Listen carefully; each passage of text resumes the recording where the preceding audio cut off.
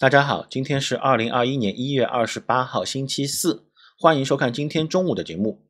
受到隔夜美国股市大跌，再加上 A 股本身有调整压力，这双重因素的影响下，今天 A 股各大指数都是出现了比较大的调整，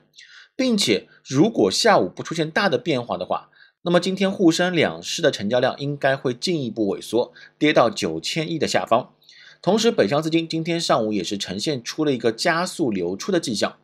那么另一方面，目前无论是美国股市还是上证大盘，短线的头部形态已经是出来了，所以单单就这个方面，我们就可以认为 A 股的调整现在还没有结束。